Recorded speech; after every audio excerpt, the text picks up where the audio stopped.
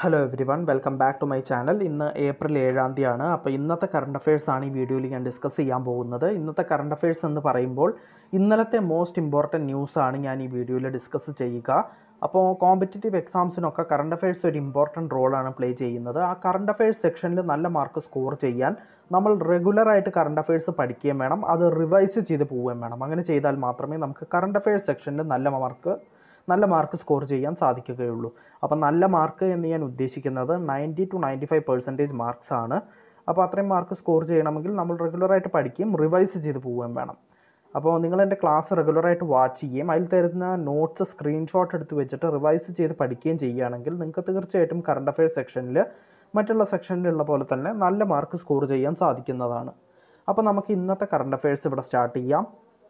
Skyroot Aerospace successfully test fires its uh, 3D printed cryogenic engine Dhawan 2.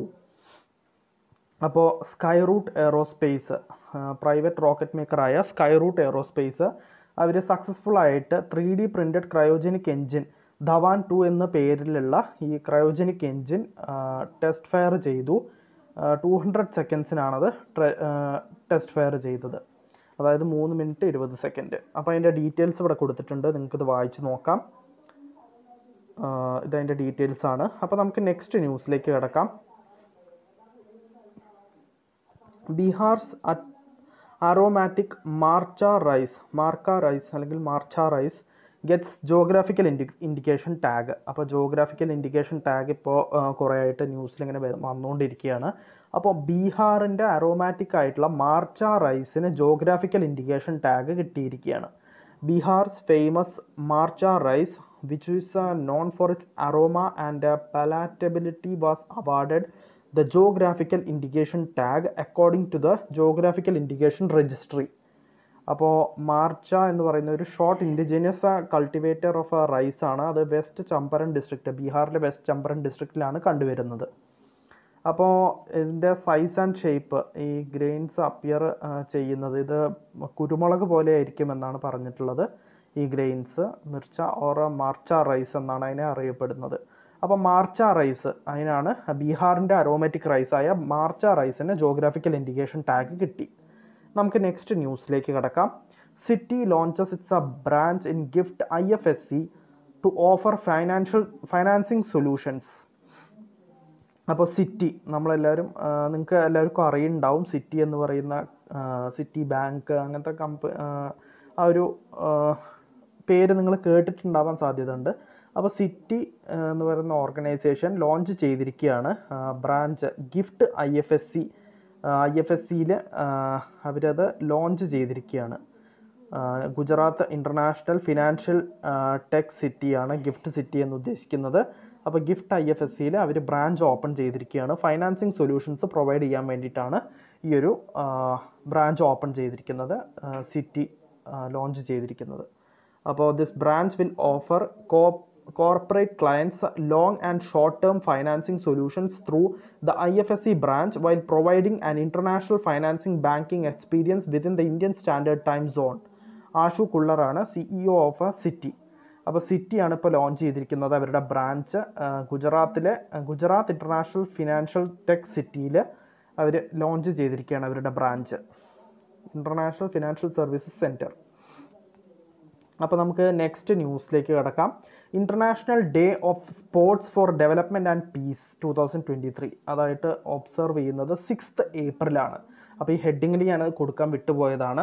Sixth ഏപ്രിലാണ് international day of sports for development and peace ആയിട്ട് observe ചെയ്യുന്നത് two thousand twenty three അപ്പോൾ നമുക്ക് ഒന്ന് വായിച്ചു നോക്കാം international day of sports to for development and peace takes place on sixth April and is observe to celebrate the role of sports and physical activity in individual lifes and communities across the globe. അപ്പോൾ the theme of international day of sports for development and peace for this year two thousand twenty three തീമാണ് scoring for people and the planet scoring for people and planet ആണ് ഈ വർഷത്തെ theme നമുക്ക് next ന്യൂസിലേക്ക് കിടക്കാം. M S Dhoni and Yuvraj Singh and M S Dhoni Yuvraj Singh and Mithali Raj among five Indians to receive M C C honorary life membership അപ്പോൾ M S Dhoni Yuvraj Singh Mithali Raj women's ക്രിക്കറ്ററാണ് അപ്പോൾ Mithali രാജനും five Indians to receive M C C അതായത് Marylebone cricket ക്ലബിന്റെ honorary life membership കിട്ടുന്ന players ആയിരിക്കുകയാണ് cricketers ആയിരിക്കുകയാണ് Indian cricketers ആയിരിക്കുകയാണ് M S Dhoni Yuvraj Singh and Mithali Raj. അപ്പോൾ former world India world cup winning captain M S Dhoni and two thousand eleven O D I world cup player of the tournament Yuvraj Singh were named among the five Indians to have been inducted with the Mary Lebon Cricket Club's honorary life membership.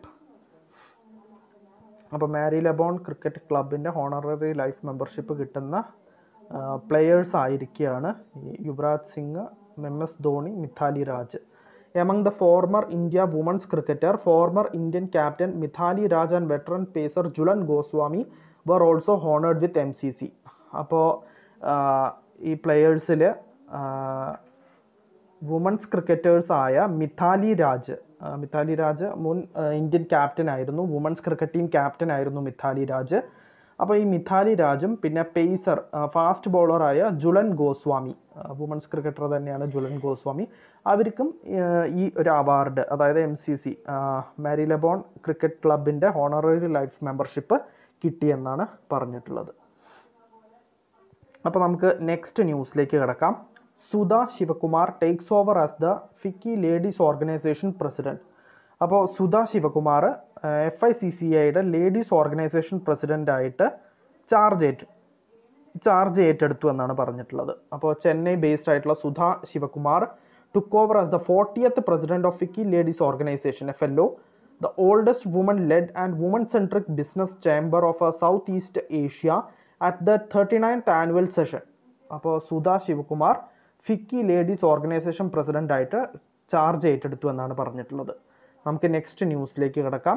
D B S bank India launches digi portfolio Asian wealth management and Asian private banking അപ്പോൾ D B S bank India launch ചെയ്തിരിക്കുകയാണ് digi portfolio Asian wealth management and Asian private banking ആണ് launch ചെയ്തിരിക്കുന്നത് digi portfolio അപ്പോൾ നമുക്ക് ഒന്ന് വായിക്കാം. D B S bank India has launch and innovative investment solution digi portfolio on its digital platform digi portfolio uses the technology and human expertise to create a set of investment options curated by Morningstar that match the risk preferences of uh, different investors. അപ്പോൾ D D B S ബാങ്കാണ് digi portfolio launch ചെയ്തിരിക്കുന്നത് Asian wealth management and Asian private ബാങ്കിങ്ങിന് വേണ്ടിയിട്ട്. അപ്പോൾ നമുക്ക് next ന്യൂസിലേക്ക് കിടക്കാം. Peru removed as a host of two thousand twenty three FIFA under seventeen men's world cup. അപ്പോൾ Peru ആയിരുന്നു ഇതുവരെ. പെരുവിന്റെ ക്യാപിറ്റൽ ലിമ കറൻസി സോളാണ് അപ്പോൾ പെരു എന്ന് പറയുന്ന രാജ്യമായിരുന്നു under seventeen men's world cup. FIFA under seventeen men's world cup two thousand twenty ത്രീയുടെ host Peru ആയിരുന്നു. അത് remove ചെയ്തിരിക്കുകയാണ്. So FIFA has regretfully withdrawn Peru's hosting rights to the FIFA under seventeen world cup following extensive discussions between FIFA and the Peruvian football federation അപ്പോൾ ഫിഫയുടെ Peruvian football ഫെഡറേഷനായിട്ടുള്ള ടോക്സിന് ശേഷം ഡിസ്കഷൻസിന് ശേഷമാണ് ഈ ഒരു തീരുമാനം എടുത്തത്. പെരുവിനെ റിമൂവ് ചെയ്തിരിക്കുകയാണ്. അപ്പോൾ ഇനി പെരുവിൽ വെച്ചിട്ടായിരിക്കില്ല ആ വേൾഡ് കപ്പ് നടക്കാൻ പോകുന്നത്. അപ്പോൾ the tournament remains scheduled to take place from tenth November to second December two thousand twenty three അപ്പോൾ ഡേറ്റ് നിങ്ങൾക്ക് കിട്ടി. Tenth November to second December two thousand twenty ത്രീയിലാണ് അത് നടക്കുക. But the bureau of FIFA council will now designate a new host in due course അപ്പോൾ അധികം വഴുകാതെ പുതിയ ഒരു ഹോസ്റ്റിനെ കണ്ടെത്തുമെന്നാണ് പറഞ്ഞിട്ടുള്ളത്. അപ്പോൾ നമുക്ക് നെക്സ്റ്റ് ന്യൂസിലേക്ക് കിടക്കാം.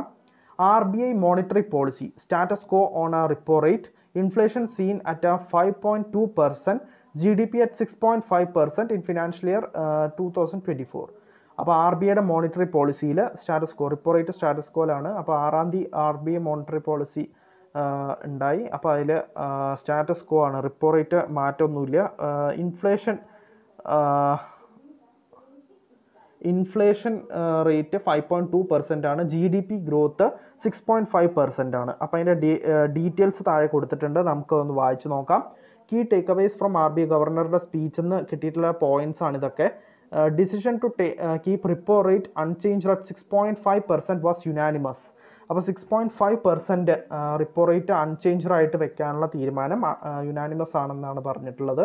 The standing deposit facility rate pegged twenty five basis point the repo rate is six point two five percent അപ്പോൾ standing deposit facility rate six point two five percent ആണ്. Marginal standing facility rate twenty five basis points above repo rate ആണ്. അതായത് repo rate അപ്പോൾ six point five percent ആണ് എന്നാണ് പറഞ്ഞിട്ടുള്ളത്. പിന്നെ six point seven five percent ആണ് marginal standing facility rate പിന്നെ എം പി സി ഡിസൈഡ് ചെയ്തിട്ടുണ്ട് monetary policy committee five is to one majority to remain focused on withdrawal of accommodation withdrawal of അക്കോമഡേഷന് five is to one majority കിട്ടിയിട്ടുണ്ട് എന്നാണ് പറഞ്ഞിട്ടുള്ളത്. അപ്പോൾ ഇതായിരുന്നു important points monetary policy കമ്മിറ്റിയുടെ ന്യൂസിനെ സംബന്ധിച്ച്. അപ്പോൾ നമുക്ക് നെക്സ്റ്റ് ന്യൂസിലേക്ക് കിടക്കാം. Odisha receives investment intent worth rupees twenty six thousand crore twenty six thousand crore rupees at a business meet in Tokyo അപ്പോൾ ഒഡീഷയ്ക്ക് ഒരു ഇൻവെസ്റ്റ്മെന്റ് ഇന്റന്റ് ഇരുപത്താറായിരം കോടി രൂപ വരുന്ന ഇൻവെസ്റ്റ്മെന്റ് ഇന്റന്റ് ആണ് ലഭിച്ചിരിക്കുന്നത്. ടോക്കിയോയിൽ വെച്ച് നടന്ന ബിസിനസ് മീറ്റിൽ അപ്പോൾ the Odisha government has received investment intents of over twenty six thousand crore rupees during the Odisha business meet two thousand twenty three held in Tokyo ടോക്കിയോയിൽ വെച്ച് നടന്ന ഡിസ്കഷനിലാണ് ഈ ഒരു തീരുമാനം എടുത്തിട്ടുള്ളത്. ഒഡീഷ ഗവൺമെന്റിന് ഇൻവെസ്റ്റ്മെന്റ് ഇന്റൻസ് രണ്ട് ഇരുപത്താറായിരം കോടി രൂപ വരുന്ന ഇൻവെസ്റ്റ്മെന്റ് ഇന്റൻസ് കിട്ടുമെന്നാണ് പറഞ്ഞിട്ടുള്ളത്. അപ്പോൾ the state has received investment intents in sectors like അപ്പോൾ ഏതൊക്കെ സെക്ടറിലേക്ക് വേണ്ടിയിട്ടാണ് ഈ ഇൻവെസ്റ്റ്മെന്റ്സ് കിട്ടുന്നത് ഈ ഇൻവെസ്റ്റ്മെന്റ് ഇന്റന്റ് കിട്ടുന്നത് എന്ന് വെച്ച് കഴിഞ്ഞാൽ ലോജിസ്റ്റിക്സ് മെറ്റൽ ആൻസിലറി സ്റ്റീൽ പിന്നെ metal downstream green hydrogen green ammonia green energy equipment manufacturing and I T or I T E S അതിനൊക്കെ വേണ്ടിയിട്ടാണ് ഈ ഇരുപത്താറായിരം രൂപ ഇരുപത്താറായിരം കോടി രൂപ കിട്ടുന്നത്. അപ്പോൾ നമുക്ക് നെക്സ്റ്റ് ന്യൂസിലേക്ക് കിടക്കാം. India elected as member of U N statistical commission narcotic drugs and the programme coordinating board of the joint U N programme അപ്പോൾ ഇന്ത്യനെ elect ആക്കിയിരിക്കുകയാണ്. U N statistical commission narcotic drugs and programme coordinating board of the joint U N programme അപ്പോൾ അതിന്റെ details ഇവിടെ കൊടുത്തിട്ടുണ്ട്. India has been elected as a member of U N statistical commission the commission on Narcotic drugs and a Program Coordinating Board of the the Joint UN Program on HIV or AIDS by the Economic and economic Social Council council of the United Nations. അപ്പോൾ U N statistical കമ്മീഷന്റെ മെമ്പറായിട്ട് എലക്റ്റ് ആയിരിക്കുകയാണ് India. അപ്പോൾ നമുക്ക് next ന്യൂസിലേക്ക് കിടക്കാം. Government unveils plan to add plans to add two fifty gigawatt renewable energy capacity in the next five years അപ്പോൾ government plans unveil ചെയ്തിരിക്കുകയാണ്. ഇരുന്നൂറ്റമ്പത് gigawatt renewable energy green energy capacity അടുത്ത അഞ്ച് വർഷത്തിൽ ആഡ് ചെയ്യാനാണ് തീരുമാനിച്ചിട്ടുള്ളത് സെൻട്രൽ ഗവൺമെന്റ് അപ്പോൾ അതിന്റെ ഡീറ്റെയിൽസ് ഇവിടെ കൊടുത്തിട്ടുണ്ട്. The government has announced a plan to add two fifty gigawatts of renewable energy capacity in the next five years to achieve its target of five hundred gigawatt of clean energy by two thousand thirty അപ്പോൾ രണ്ടായിരത്തി മുപ്പതിന് ശേഷം ഈ complete അതായത് petrol diesel വെഹിക്കിൾസൊക്കെ production അതിന്റെ കോമ്പണൻസിന്റെ production കാര്യങ്ങളൊക്കെ നിർത്തും എന്നാണ് പറഞ്ഞിട്ടുള്ളത്. അപ്പോൾ കംപ്ലീറ്റ് ആ ടാർഗറ്റ് അച്ചീവ് ചെയ്യാൻ വേണ്ടിയിട്ട് അടുത്ത അഞ്ച് വർഷത്തിനുള്ളിൽ ഇരുന്നൂറ്റമ്പത് gigawatt of renewable energy capacity add ചെയ്യുമെന്നാണ് ഗവൺമെന്റ് പറഞ്ഞിട്ടുള്ളത്. അഞ്ഞൂറ് ഗിഗാവാട്ട് ആവണം രണ്ടായിരത്തി മുപ്പത് ആകുമ്പോഴേക്കും എന്നാണ് തീരുമാനിച്ചിട്ടുള്ളത്. അപ്പോൾ ആ ടാർഗറ്റ് അച്ചീവ് ചെയ്യാൻ വേണ്ടിയിട്ട് അടുത്ത അഞ്ച് വർഷത്തിൽ ഇരുന്നൂറ്റമ്പത് gigawatt of renewable energy capacity എത്തിക്കണമെന്നാണ് പറഞ്ഞിട്ടുള്ളത്. അപ്പോൾ for fifty gigawatt of renewable energy capacity annually for the next five years that is from financial year two thousand twenty three to twenty four till financial year two thousand twenty seven to twenty eight അപ്പോൾ ഗവൺമെന്റാണ് plans unveil ചെയ്തിട്ടുള്ളത്. ഇരുന്നൂറ്റമ്പത് gigawatt of clean എനർജിക്ക് വേണ്ടിയിട്ട്. അപ്പോൾ ഇന്നത്തെ current അഫയേഴ്സിൽ ഇത്രയേ ഉള്ളൂ. ഒരുവിധം എല്ലാ ഇമ്പോർട്ടന്റ് ന്യൂസും ഞാൻ ഡിസ്കസ് ചെയ്തിട്ടുണ്ട്. അപ്പോൾ നമുക്ക് നാളത്തെ കറണ്ട് അഫയേഴ്സിൽ വീണ്ടും കാണാം. So bye every sorry bye everyone